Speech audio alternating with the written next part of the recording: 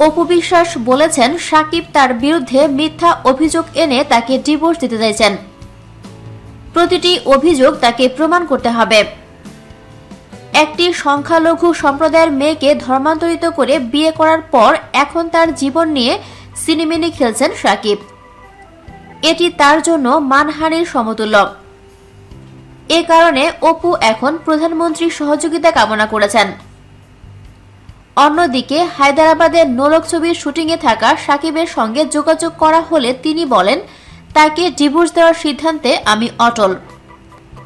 আমি আমার ব্যক্তিগত বিষয় নিয়ে আর কোনো কথা বলতে চাই না। ডিভোর্স সংক্রান্ত বিষয়ে আমার আইনজীবী যা বলার বলবেন। ছেলে আবরাম খান জয় প্রসঙ্গে শাকিব খান বলেন, সে তো আমারই সন্তান। আমার সন্তানের ভালোর জন্য যা যা করা দরকার, আমি অবশ্যই করব।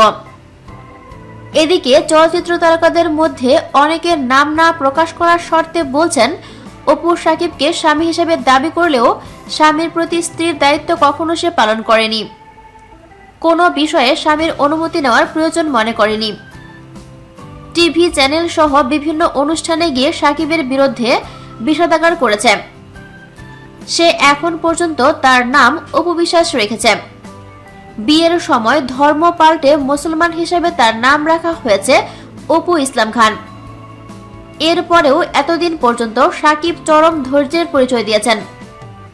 শেষ পর্যন্ত সম্প্রতি শিশু সন্তান জয়কে বাসায় কাজের লোকের কাছে রেখে সাকিবের অনুমতি না নিয়ে অপু কলকাতায় চলে গেলে সাকিব হার্ডল্যান্ডে যেতে বাধ্য হন।